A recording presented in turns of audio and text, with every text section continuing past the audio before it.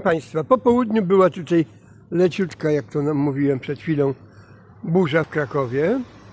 No ale później, późnym wieczorem się druga, druga burza. Już było więcej grzmotów i znacznie więcej deszczu.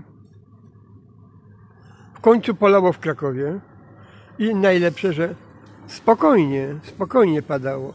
Bez żadnych szaleństw, wichurii i tak dalej.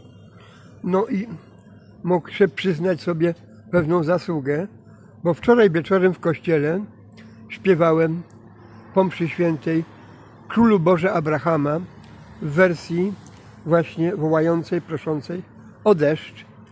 No i jak widać zostałem słuchany. Więc dla mnie to dodatkowy dowód, że jednak modlitwa, zwłaszcza w kościele, tym bardziej śpiewana, ma dużą moc. Właśnie śpiewałem to Królu Boże Abrahama. Tyś jest moc i,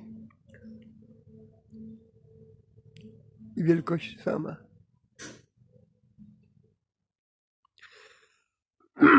No, ale teraz się trochę obawiam, by nie zaczęło za długo lać, bo przecież mamy żniwa. No więc zbyt długie deszcze nie są korzystne. No i będę wtedy musiał śpiewać odwrotnie. O pogodę, prawda, na żniwa. No i ważne, bo w Krakowie dzisiaj były nominalnie dwie burze. Podobność podobnież w Warszawie, z tym, że tam podobno były dość spore uszkodzenia i straty. A u nas były grzeczne i chyba, zwłaszcza w centrum, jakich wyraźnych szkód nie poczyniły.